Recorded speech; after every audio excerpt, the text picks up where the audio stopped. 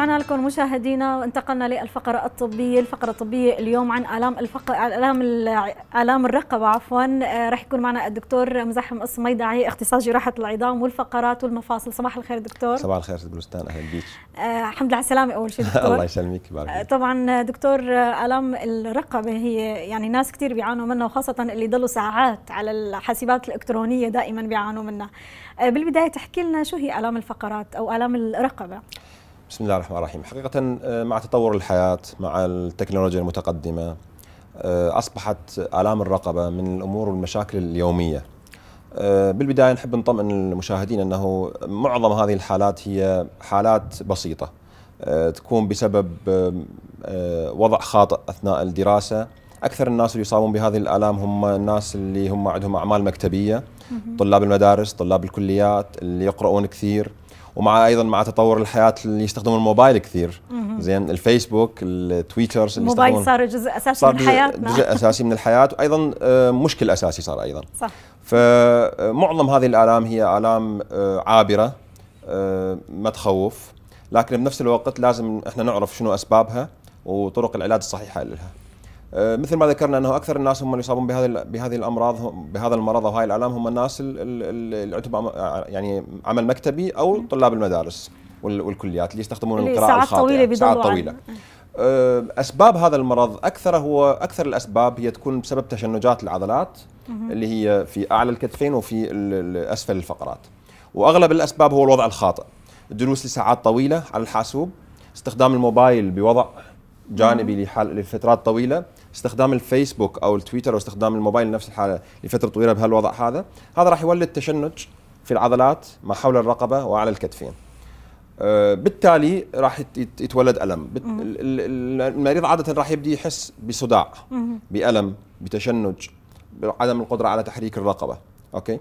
فإذا الأسباب هذه لكن أيضا ممكن أكو أسباب أخرى مهمة وجوهرية وهي الأمراض. دكتور قبل ما آه، تحكي لنا عن الأسباب الأخرى أنا حابة انوه للمشاهدين إنه أرقامنا موجودة على الشاشة اللي بيحب يستفسر من الدكتور مزاحم الصميداعي طبعا دكتور آه، أتوقع أنا كمان مريت بهي الحالة بفترة الدراسة بس إنه كانت إنه هي كيف الألام؟ هي الألام مستمرة ولا دائمية ولا كنا في فترة؟ كنا كنا مرينا بهاي الألام أنا مريت بهاي الألام. أيضا السبب هو الوضع الخاطئ أحيانا اثناء الدراسة وأثناء استخدام الحاسوب.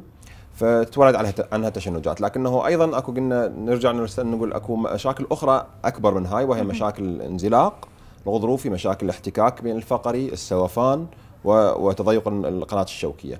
راح نبدي بالجزء البسيط. هي أسبابها يعني هاي الأسباب المهمة أه. والأسباب الخفيفة قلنا هي التشنجات والصداع الناتج عن هذه التشنجات والأوضاع الخاطئة. استخدام الوسادة الخاطئة. زين التعرض لنوبات البرد هي أيضا آه، أحد الأسباب. نجي للجزء البسيط اللي هو التشنج والألم اللي يكون على الكتفين وأسفل الرقبة. عادة حتى نعرف إنه هذا هذا المرض هو مرض مو مهم أو خلينا نقول مو سيريس آه، جوهري. تكون الالام عادة محصورة بهذه المنطقتين. هون خاصة. بالضبط. آه. على الكتفين الرقبة مع صداع بسيط. لكن لو كان الألم لو انتقل الألم إلى الأطراف إلى اليدين أو الكفين إلى أطراف السفلى. لو صاحب الألم خدر أو تنمل لو صاحب الألم ضعف في في استخدام الكفين والأطراف بدينا في مرحلة خطرة. بمعنى المشكلة أصبحت ليست مجرد تشنج وإنما أصبحت المشكلة مشكلة إضافية. كان يكون انزلاق غضروفي كان يكون تضيق بالنخاع الشوكي كان يكون آه، سوفان فقري. اذا إذا كانت الالام بس الالام تشنج فهي الام نوعا ما مقدور عليها. آه، طرق الوقاية هو الابتعاد عن المسببات. المسببات اللي هي جلوس لفترات طويلة على الحاسوب. آه، ننصح أيضا بعدم استخدام الموبايل فترات طويلة. آه، يعني لو كان لو كان عملنا مجبرين عليه أنه نستخدم الحاسوب أو القراءة لفترات طويلة نحاول نسوي حالات استقطاع. يعني مثلا نعمل لفترة ربع ساعة ونص ساعة بعدين نغير حركتنا. زين؟ نسوي تمارين للرقبة خلال خلال فترة العمل. نستخدم المساجات المراهم. زين؟ حتى نقلل من من من هذه المشكلة. آه، آه، إذا ما استفادنا أو بقت الألام موجودة نلجأ أيضا ذاك الوقت إلى المسكنات الخفيفة إلى المراهم البسيطة. آه، إلى استخدام الكولر الياخه الإسفنجية. وكذلك العلاج الطبيعي اللي هو جزء مهم من من من علاج هذه الأمراض الخفيفة. المرحلة الثانية هي مرحلة إذا إذا بدأت أعراض أخرى وهي أعراض تنمل أو خدر أو أو أو ضعف بالأطراف. هذه المرحلة لا راح تكون مرحلة مهمة. لازم نكون بهالحاله نستشير الطبيب. نلجأ إلى إجراء فحص شعاعي أو رنين مغناطيسي للتأكد من من الحالة وتشخيصها. لأنه إذا وضحت أنه الحالة عندنا هي انزلاق غضروفي أو احتكاك فقري أو سوفان أو تضيق بالنخاع الشوكي أحيانا نحتاج إلى إجراء تداخل جراحي. بهالحالة. دكتور طبعا آه، أنت قلت إذا كانت الحالة مستمرة يعني نحن أحيانا كدراسة مضطرين على أسلوب واحد. مثلا يعني ك ك كأنا مثلا أنا كنت متعودة هيك يعني ما فيني إذا غيرت بطريقة الدراسة فإنه خلص ما في ما فيني ركز. فهون ننصح كثير ننصح كثير بتغيير هذا الموضوع. يعني كثير من العمل المكتبي يتطلب آه، الجلوس مع مع رقبة منثنية للداخل. ننصح بأنه أكو كثير من المكاتب حاليا يستخدمون هاي الطريقة يستخدمون فد فأنا ما كنت أقدر وقتها بس أنا ما كنت أقدر ما كنت ركز. إذا ما, ما قدرنا ما قدرنا نحاول نسوي آه، وقت مستقطع. مثلا ندرس ربع ساعة ثم نقوم نحرك الرقبة نسوي تمارين شد العضلات. okay نستخدم الحرارة الهير الحار الهواء الحار. المساجات حتى نمرن العضلة لأنه هو المشكلة الأساسية صح. هو شد شد صح هو الماما بفتره الدراسة كانت عم تتعذب معي من المساجات فتره فترات صح. طويلة كنا أيام الجامعة. لكن أيضا أقول فد شيء هنا إنه الموضوع هذا ممكن بعد فترة من الزمن إذا استمر استمر تشنج تشنج تشنج يتولد احتكاك فقري أو سوفان طيب دكتور معنا اتصال. ألو صباح الخير. ألو صباح الخير. صباح الخيرات تفضلي. ممكن أتكلم مع الدكتور؟ تفضلي الدكتور معك. تفضلي أختي العزيزة. الخير دكتور شلونك؟ أهلا بيك. أه دكتور عندي والدتي عندها راسها بي العصب الخامس يعني بي شلون ما أعرف شلون هو يعني انسداد بي. أه ما يصير انسداد بالعصب الخامس عادة يصير التهاب بالعصب الخامس. ما أعرف يعني هو يقول تروح للدكتور يسوون هاي هاي فحوصات يقولون عندك انسداد بالعصب الخامس. يعني هي كلش متأذية منه يعني حتى الألم داسها كلش ونزل حتى على عينها اليمنى العفو اليسرى. آه ورغبتها يعني حتى رغبتها الجهة اليمنى هم يقوم شلون هي تورم تنفخ شلون البالونة؟ بس يعني شوية ما تنفخ هي بس تتأذى من عندها كلش. عندها يعني ألم مو طبيعي. طيب يصير عندها يصير يصير عندها صداع صداع نصفي؟ أختي العزيزة. آه فيها هذا الألم همينية وفتح همينية ينعوج بنفس الوقت بفك الثقل الصوت مو واضح لكن خل أسألك سؤال انتبهي معي يصير عندها صداع نصفي؟ اي دني عندها صداع نصفي هي آه. أه يصير عندها خدر في في منطقة الوجه؟ العفو دكتور شنو؟ خدر خدر في منطقة الوجه؟ اي اي يصير عندها خدر ومرات حتى من من العنف فوق من بين العيون طيب أه سوت فحص رنين؟ اي سوت رنين وفوق سوت فحص أه أه تخطيط للعصب؟ اي سووا الفحوصات كلها والاشعه والرنين وكل يعني تسوي العقل ما أعرف شلون هذا. وسووا لنا كل يقولوا لها عندك أنت امتداد بالعصب الخامس. أوكي يعني العملية مكلفه وغير ناجحة. مكلفه أه وغير ناجحة. نعم نعم. من النادر من النادر أنه يعني التهاب العصب الخامس أو انسداد قناة العصب الخامس. الالتهاب أكثر من انسداد يكون. لكن أحيانا تصير حالات انسداد في القناة اللي يخرج منها العصب الخامس إلى الوجه. لو شخصت الحالة على على هالأساس أقدر أقول لك 90% من الحالات تستفاد على العلاج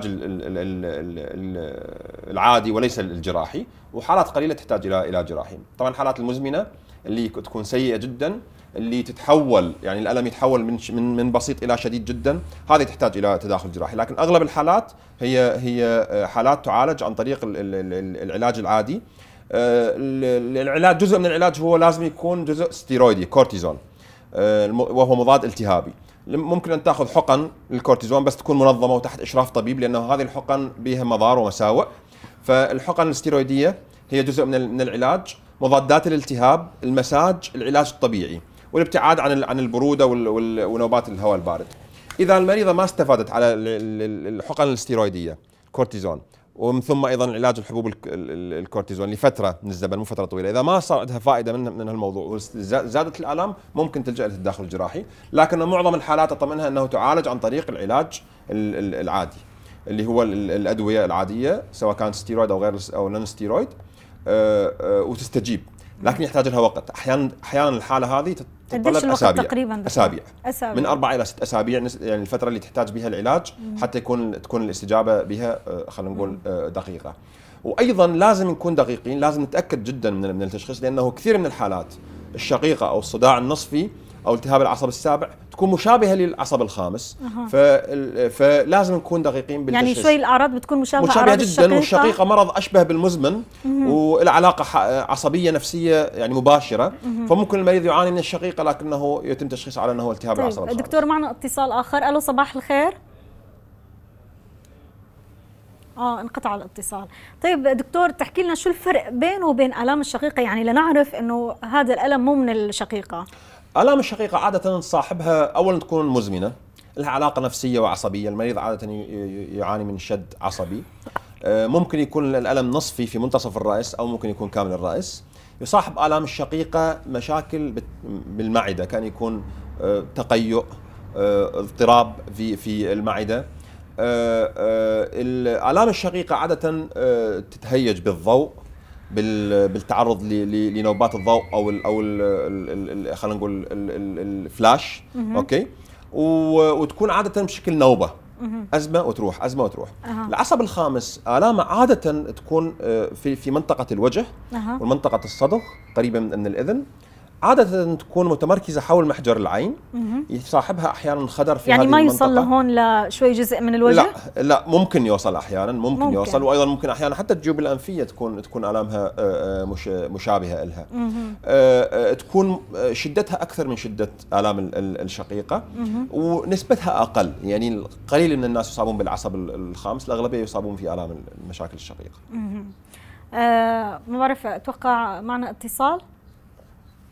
ألو صباح الخير. أنا صباح النور. صباح الخير يا هلا تفضلي. آه، طبعا تحياتنا لقناة سامرة الفضائية على كل ما قد من من خدمة للمواطن. أهلا وسهلا. آه، شكرا لك. وياكم سارة من سامرة أهلا وسهلا. تفضلي. ممكن أسأل الدكتور تفضلي. أختي العزيزه تفضلي. صباح الخير دكتور. صباح الخيرات أهلا بيك. آه، دكتور يعني قبل يومين أنا كنت نايمة على الوساده فيعني ما كنت نايمة يا غاث يعني قاعدة لازم الموبايل بايدي يمكن يعني نص ساعة كنت نايمة على الوساده فشلون تقول دمار؟ هذا العظم اللي ورا الإذن. نعم. يعني هسه صداع براسي كلش يعني كلش قوي ما دا أتحمله. فأكو حبوب هاي الخبط البارحه شربت وحدة من الدهن ودهن جانب الرقبة مني وراها. فأتمنى يعني توضح لي هاي المسألة ما أعرف يعني اراجع دكتور أخصائي. طيب يعني آه، انت انت لاحظتيها أسوي. مباشرة بعد يعني بعد ما صحيتي من النوم؟ هسه. لاحظتيها مباشرة بعد ما صحيتي من النوم؟ أختي العزيزة تسمعيني؟ عم إيه، تسمعينا الدكتور لاحظتيها مباشرة بعد ما صحيتي من النوم؟ لا لا دكتور أنا ما بفيت يعني قاعدة لازم الموبايل بإيدي بس بس رفعت راسي أحس تشنج بالذم يعني بالعظم اللي ورا الإذن؟ طيب. صار راسه صداع براسي واذني توجعني والنصف نصف راسي يوجعني. طيب آه، عندك مشاكل بالإذن؟ كان يكون وشة بالإذن أو أو انسداد بال... اي نعم دكتور أنا عندي التهاب بالجيوب الانفيه وقبل يعني 10 أيام صار عندي التهاب كلش قوي. بال... بالجيوب الانفيه اي نعم. طيب. ما أقدر إذا كانت المشكلة المشكلة هي بالإذن مثل ما أنت تحكين يعني الام بالإذن مع انسداد بالجيوب الأنفية على الأغلب هي مشكلة مشاكل الإذن مشاكل الإذن الوسطى أو أو التهابات الإذن. واللي تولد ألم تولد ألم في في في في العظم اللي تحكين أنت هي اللي يكون خلف الإذن. ممكن يكون هو هذا السبب. أه لكن إذا كان مو هذا السبب فالسبب الثاني أكيد هو أه تشنج العضلات حول الرقبة. إذا كان الألم عندك أختي العزيزة في منطقة العظم بالذات وفي تح... مع تحريك الإذن أكو ألم بي وتخلخل بالسمع أو انسداد بالإذن مع جيوب أنفية فأنصحك بمراجعة طبيب للأنف والأذن والحنجرة. إذا كان الألم تحسينه صار مباشرة بعد هذه النومه اللي أنت نمتي عليها وممكن يكون طبعا بسبب تشنج. فمجرد أنه تستخدمين مساج للمنطقة مساج حراري كان يكون مرهم حراري تستخدمين آه، دواء بسيط اللي هو الإكسدرين أو البنادول. الإكسدرين شوية أفضل بهاي بهاي الألام. وترتاحين تحاولين ترتاحين لمدة ساعات أو يوم أو يومين. عادة الألم يخف عادة الألم يخف من عندك. إذا كان ألم تشنج عضلي لكن إذا استمر أنصحك بمراجعة طبيب أنف واذن وحنجره لأنه هاي المشكلة تتعلق بالأذن. طيب دكتور البرد أو حالات البرد هي بتسبب تشنجات؟ كثير كثير. ولهذا ننصح الناس اللي يسبح لا يطلع مباشرة يتعرض لنوبات البرد. آلام الفقرات كثيرة تكثر في الشتاء تعرض بسبب التعرض لنوبات البرد.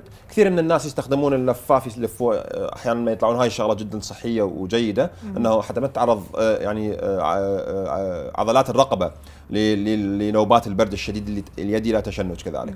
فاذا البرد هو حالة سلبية. عادة ألام الرقبة أقل بالصيف بالحرارة لأنه تؤدي إلى توسيع بالدورة الدموية وكذلك بالعضلات طيب دكتور التشنجات قد بتطول؟ يعني أحيانا بتطول لدرجة إنه نخاف لازم نستشير الدكتور. فعلا أحيانا أحيانا التشنجات العضلية ممكن تكون ساعات وممكن تطول أسابيع. أسابيع. تمام. إذا طولت إذا طل يعني بالرغم من أنه إذا إحنا خلينا نكون يعني دقيقين بهالمدى إذا المريض ملتزم يعني هو عنده مشكلة وسوى الإجراءات العادية اللي هي آه، قلل قلل من من الإجهاد قلل من من الجلوس لفترات طويلة آه، استخدم المراهم الحرارة كذا وما استفاد ذاك الوقت نلجا إلى الطبيب استشارة الطبيب. لا آه، إذا إذا المريض أيضا هو ما ملتزم يعني مستمر بالمسبب نفسه فأكيد التشنج راح يطول أكيد التشنج راح يستمر إذا استمر, راح يستمر المسبب. يعني. عفوا دكتور. طيب دكتور آلام الفقرات أو آلام رقبة آه، أحيانا مثلا بيستخدموا المراهم بيستخدموا المسكنات. هاي بتسكن لفترة بس بيكون الألم مستمر. بهيك حالة يعني. إذا الألم بسبب تشنج بسبب مسبب كان يكون التشنج أو الشد أو راح يروح. مع المسكن والحرارة راح يروح. لكن إذا الألم طول بالرغم من استخدام المسكن وبالرغم من استخدام المرخي العضلي بالرغم من استخدام المرهم. لأنه أحيانا المسكن هي فترة بس فترة قصيرة بيرجع الألم آه، بيرجع مرة ثانية بمعنى أكو مشكلة أخرى. بمعنى هي مو مو بس تشنج. بمعنى ممكن ممكن ممكن آه، نروح إلى سبب آخر. ممكن يكون آه، انزلاق غضروفي ممكن يكون سوفان فقري ممكن يكون احتكاك ممكن يكون تضيق بالقناة الشوكية. هذه الأمور راح نلجأ أيضا للطبيب لتشخيصها وللرنين المغناطيسي. واللي نحكي نقول إنه هذه الأمور أيضا في بدايتها أيضا تعالج بالعلاج الطبيعي وبالراحة باستخدام ال collar أو الياخه الياخه والمسكنات البسيطة ومضادات الالتهاب. أوكي؟ لكن أحيانا أيضا تستمر لفتره أطول. ننبه هنا إذا المريض آه، آه، بدأ يحس بأعراض تنتقل للطرفين خدر تنمل ضعف بالحركة هنا تكون المرحلة خط أحمر ينتبه لها المريض يراجع الطبيب والطبيب راح ينصحه. لأنه اذا إذا آه، كثير من المرضى هسه يراجعونا بالعيادات. يوصلون إلى هالمرحلة. يعني ما يجون للطبيب الا ان يوصل إلى مرحلة بدات بدأت حالات الضعف عنده. نجري نجري له فحص الرنين المغناطيسي نلقي أنه أكو تضيق بالقناه الشوكية. وهنا المرحلة خطرة لأنه القناة الشوكية في الفقرات العنقية ليست كالقناة الشوكية في الفقرات القطنية. القناة الشوكية في الفقرات العنقية قناة صغيرة جدا ماكو مجال للتوسع فيها. أي ضغط على على العصب راح يؤدي إلى ضرر. ممكن ممكن بالفقرات القطنية ممكن أكو يعني مرر ليس أكو مجال للضغط. آه، فاذا إذا صارت عندنا هذه الحالة لازم نكون كلش دقيقين ننطي للمريض علاج ملائم وإذا ما استفاد عليه نلجأ إلى تداخل جراحي. إذا ما لجأنا إلى تداخل جراحي في في في الوقت المناسب ممكن يصاب المريض بشلل بضعف بضمور آه، ومشكلة ما ممكن علاجها ذاك الوقت. لأنه نرجع نقول النسيج العصبي هو النسيج الوحيد اللي هو غير قابل لل للنمو. إذا صار بمشكله بعد ما ما يلجأ ما يتعدل. ولهذا المريض اللي يصاب بهكذا بهكذا آه، مرض لازم آه، نجري له تداخل جراحي سريع قبل أن تصير عنده مشكلة. والتداخل الجراحي هنا مع التقنية الجديدة هو تداخل مايكروسكوبي مجهري فتحة بسيطة. في منطقة صغيرة. الرقبه صغيرة. ممكن أما نبدل ال disc أو نسوي fusion تثبيت الحديث. يعني هذا فيك تقول تداخل الجراحي الحديث هذا. بالضبط تداخل. طيب القديم لساته مستخدم بالفقرات العنقية من النادر. القطنية لساته مستخدم في كثير من المراكز وكثير من الأطباء يستخدمونه. آه، لكن في الفقرات العنقية من النادر. حاليا الأغلبية نقدر نقول 90% من من الجراحين اللي يشتغلون آه، جراحة الفقرات العنقية يستخدمون التداخل الحديث لأنه آه، ناجح وسهل.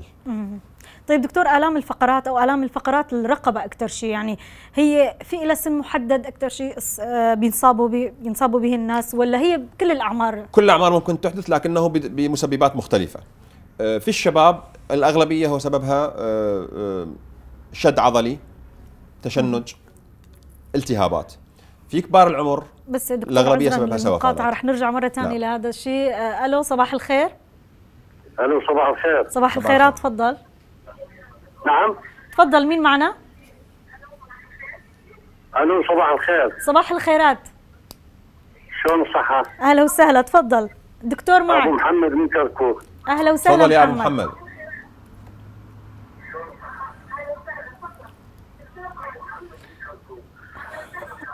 احييك واحيي الدكتور مزاحم. حياك الله. بس يا ريت لو تسمعنا من التليفون. آه، بس اتصل الدكتور اني عندي آلام بالركبه وبالمفاصل وعندي ربو وعلاج الربو دائما آه، يشتغل عكس عفوا ال- ال- ال- العلاج يعني علاج ال- ال- ال- الربو إذا أخذ علاج مفاصل ده يأثر على الربو فشنو العلاج اللي ما يأثر على الربو بالنسبة للمفاصل؟ طيب أخي العزيز آه، علاج ال- المفاصل يأثر على الربو هذا الكلام دقيق لكنه علاج الربو ما يعني يأثر على يأثر على على هشاشة العظام صح؟ لكنه أيضا ممكن يكون علاج الربو أحيانا هو كورتيزون أحيانا يكون مفيد للالتهابات فقط. بس أنت حقق لأنه كث- كثير من علاج المفاصل اللي, يستخدم في حالات الربو هو يأثر. إحنا لازم نشخص حالتك بالبداية حتى نعرف شنو العلاج اللي نسوي له إياه. لكن آه، نعطيك يعني آه، رؤوس نقاط مهمة. آه، إذا حبيت أن تستخدم علاج لل- للمفاصل لل- للمفاصل ما يأثر على الربو فأسلم شيء هو الباراسيتامول. اللي هو قليل التأثير على الربو. الأغلبية البقية الأغلبية هي تأثر على الربو. ال- المضادات ال- ال- ال- المضادات الالتهاب العادية ما تأثر على الربو. آه، آه، الحقن كثيرة تأثر على الربو. فكون حذر من حقن الفولتارين آه، البروفين هذه ممكن تسوي لك أزمة ربو حادة. آه، نعم نعم نعم. بالضبط. حاول تستخدم المراهم الموضعية لأنه امتصاصها قليل و- وتأثر بشكل موضعي ما تأثر بشكل بشكل عام. فإذا ال- المراهم الموضعية جدا تفيدك. آه، استخدام الباراسيتامول آه، سواء حتى حتى حقنة الباراسيتامول تكون أسلم من غيرها. آه، البقية عموما تكون تكون طيب مؤثرة دكتور على ما. عدا مضاعفات على الربو كمان على الأمراض الثانية أو على المشاكل المشاكل الثانية اللي بتسببها؟ الاستخدام الصحيح الدقيق القصير تأثيره قليل. قليل. الاستخدام الطويل الأمد يعني كل فترة أستخدمه كل فترة أستخدمه أكيد راح تولد مشاكل بال- بالربو ممكن مشاكل بالمعدة والدرجه الأساس خاصة مشاكل البروفين بالضبط مشاكل كتير. مشاكل في آه، الضغط زين. فهذه أكيد لها تأثيرات. لكن الاستخدام البسيط القصير حتى إذا كان الربو طبعا إذا كان الاستخدام قصير آه، لفترة قصيرة زين ومو بجرعة عالية زين ما ما بها مشكلة. أنصح أيضا باستخدام المرخيات العضلية. المرخيات العضلية اللي هي مثلا مثلا اللي بها باراستامول مع مع مرخي عضلي كان يكون الكنديسيك النورجيسيك okay؟ ال- ال- الميسكودول. هذين هذين الأدوية أيضا آه، ال- الساريدون. هذين الأدوية أيضا ما لها تأثير على الربو دكتور معنا اتصال ثاني ألو صباح الخير. ألو. ألو. هلا السلام عليكم. عليكم السلام. يا هلا تفضل. آه، ممكن اسلم على الدكتور؟ تفضل الدكتور تفضل معك. أخي. شلونك دكتور صحتك؟ أهلا بيك. أنا سويت عندك عملية بال 2010 نعم. عملية ما شنو؟ بت بتر. نعم. تفضل أخي كمل. تحت الركبة. نعم. بس يا ريت لو تسمعنا من التليفون. إن شاء الله إن شاء الله. هلا دكتور. تفضل أخي.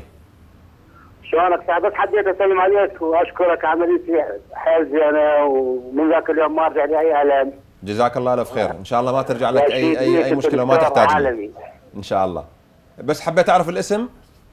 أنا يونس يونس من الزوية. ألف هلا بيك يا يونس يا ألف هلا بيك.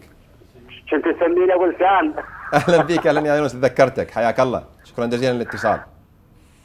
شكرا على اتصالك. آه، هو عامل عمليه وعم يتشكرك بس أنا ما بعرفت العملية. كسر تحت تحت الركبة. أها. آه. آه طيب دكتور عفوا نرجع لموضوع الفقرات. يعني الفقرات فقرة الرقبة بتأثر على فقرة العمود الفقري. مثلا إذا كان في مشاكل بالرقبة بتأثر على الفقرات الثانية؟ العمود الفقري هو جزء واحد لا يتجزأ متصل. وباعتبار هو جزء بالضبط. يعني لكنه آه، إذا كانت الآلام الفقرات العنقية هي آلام آه، تشنجات ممكن ممكن تتصل وتسوي الام عامه لأنه مسبب واحد. آه، إذا كان المريض يعني معرض لانزلاق بالفقرات العنقية فايضا ممكن يكون معرض أيضا لانزلاق في الفقرات القطنية لأن جسمه قابل. نفس الحالة السوفان اللي يصير بالفقرات العنقية عاده من نجي نفحص المريض اللي يعاني من سوفان بالفقرات القطنية العنقية. بعد فترة أخرى المريض أيضا يقول انه عندي مشكلة بال- بالظهر. فلهذا أي مريض يعاني من مشكلة في أي فقرة نحاول قدر الإمكان نسوي مسح لكافة فقرات الجسم للتأكد من انه ما يعاني في من, من مشكلة أخرى. أها. طيب دكتور المسكنات يعني باعتبار الأشخاص بهذا النوع من الفقرات كثير بياخذوا المسكنات. عفوا. المضاعفات انت قلت موجود على المعدة أو على كل الجسم. المسكنات لو أخذت بطريقة صحيحة أها. ولو ولو أخذت بطريقة علمية تأثيرها يعني في ناس كثير عم بيكثروا من المسكنات خاصة الفقرات لا لا لا, لا. هي مقلة مع بالمستقبل. بالمستقبل طبعا أيضا المسكنات إحنا كثير من الناس هم يفهمون الموضوع بشكل خاطئ آه، يأخذون أدوية يتوقعون انه هي مسكنة لكن هي مو مسكنة هي جزء من عملها هو مسكن يعني مضادات الالتهاب الاستيرويدي ال non ستيرويدي اللي هي من نحكي إحنا نقول البروفين الفولتارين هي ليست ترى مسكنات هي مو بس مسكنات لا لا إحنا مثلا. بنحكي نقول بنحكي نقول ترامال ترامادول أها. مورفين بيثيدين هذني مسكن.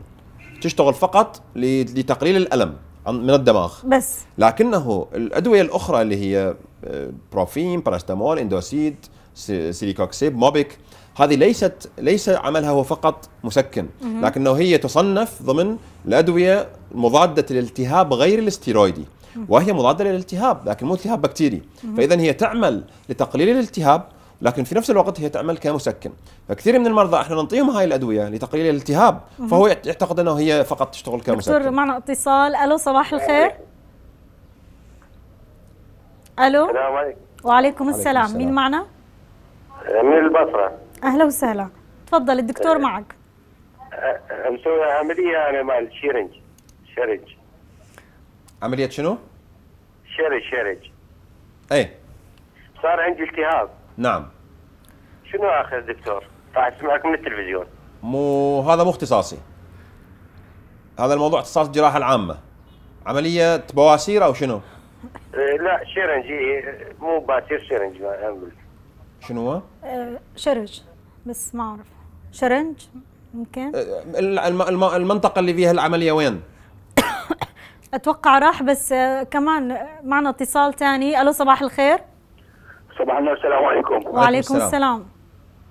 آه سعد دكتور. أهلا بيك. تفضل. معك أبو محمد من سامراء حياك الله أبو محمد.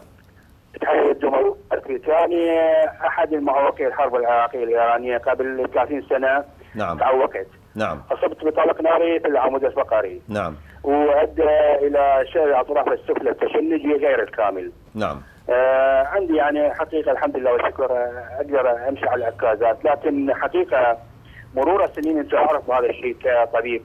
آه أصبح عندي تليف على مكان الإصابة فبدأ يضغط علي سنة بعد سنة بدا يقل حركتي يعني خلال السير ال- أمشي وهذه يعني آه، حقيقة يعني مو كألم وإنما كحركة يقلل من حركتي جدا. طيب مك- مكان الإصابة بالضبط يا فقرة ابو محمد؟ الاطباء يعني قسم منهم قالوا لي إن مر عليه طول سنين طويلة على الإصابة. فأصبح أصبح الآن ال- إجراء عملية لها لإزالة التلوث. صعبة جدا يعني نسبة النجاح جدا ضئيلة. لكن الحقيقة يعني قلت لك يضغط علي يعني ما هي الإجراءات اللي ممكن أتخذها حتى مثلا كإجراء وقائي الي ما يأذيني يعني وما يضغط علي أكثر أكثر ما يقيد حركتي، شنو اللي النصائح اللي ممكن تنطي اياها حتى أقدر يعني أمشي عليها؟ آه، وانت عارف هاي الشيء دكتور كطبيب أخصائي أتمنى إن بس كنصيحة لي وهل يا ترى ممكن إجراء عملية؟ طبعا أنا ما فقد الأمل، الأمل بالله والله سبحانه وتعالى اقرب إلينا من حبل الوريد وارحم بينا. ويعني بس يعني ك الجواب على سؤالي هل أبو ممكن محمد- أبو محمد راح شوية أقاطعك أبو وفي محمد، تعذرني على مدى الوقت. أبو محمد يا فقرة اللي اصابت بها يا فقرة. على المستقبل حتى ما تحد من حركتي. يا فقرة يا فقرة. إصابتك في يا فقرة في يا جزء من العمود الفقري. أوكي. قطع الاتصال لكنه ما فهمت من أبو محمد حقيقة هو إصابة بطلق ناري في في إحدى الفقرات الصدرية العنقية القطنية ما أعرف. آه، أدى إلى شلل شلل شبه كامل عنده. على العموم راح نعطي نصائح عامة. آه، إذا كانت الإصابة قديمة وإذا كانت الفقرة للأعلى كل ما صعد صعدت الإصابة يعني كانت الإصابة الفقرات القطنية أهون الصدرية أصعب العنقية أصعب. خصوصا إذا كان ضرر بالنخاع الشوكي خصوصا إذا كان الإصابة بطلق ناري لأن الطلق الناري هنا راح يؤدي إلى مشكلتين مشكلة حرارية ومشكله قطعية العفو ثلاث مشاكل ومشكلة ضغطية. ممكن الطلق الناري يؤدي إلى قطع بالنخاع الشوكي ممكن يؤدي إلى حرارة أو حرق بالنخاع الشوكي ممكن يؤدي إلى كسر والكسر يضغط على النخاع الشوكي. ال- الموضوع قديم لكن المريض يقول أنا أقدر امشي على عكازات وهذا الشيء جيد جدا. آه، إذا كان إجراء الفحص الرنين المغناطيسي في الوقت الحاضر له ما يدل على وجود ضغط خارجي من أحد الفقرات أو من الغضاريف أو من التليف على النخاع الشوكي فما أنصح بإجراء اي عملية. يعني إذا بالرنين المغناطيسي ماكو أي أعراض لضغط على النخاع الشوكي بأي بأي سبب أي عملية لا يسوي لها الفترة قديمة وال- والضرر تقريبا تهيكل أو أو أو ثبت. حتى إجراء فحص إجراء عمليات زرع النخاع الشوكي أو زرع ال stem cell الخلايا الجذعية يعني أنا شخصيا أشرفت على جزء من هذه العمليات خارج القطر مع مع أصدقائي مع جزء من من, من أصدقائي في في أمريكا وفي في أطباء في المركز الأمريكي في قبرص. النتائج مو كلش مشجعة نستخدمها فقط لحالات خاصة مو كل المرضى يستفادون. يعني حالات اضطرارية حالات. اضطرارية وتكون امل أملها ضعيف جدا لكنه كثير من الناس يسووها يعني يوافقون على على نسبة ال- الضعف. يعني خلينا نقول إنه ما عنده حل ثاني. ما عنده حل okay؟ صح. آه، إذا ماكو هذا الموج... هذا الشيء مثل ما قلنا إنه اجراء فحص الرنين المغناطيسي ماكو مشكلة ضغط. اذا في حالة ال- المريض أبو محمد التركيز بالعلاج يكون على العلاج الطبيعي. تمارين تمارين تمارين.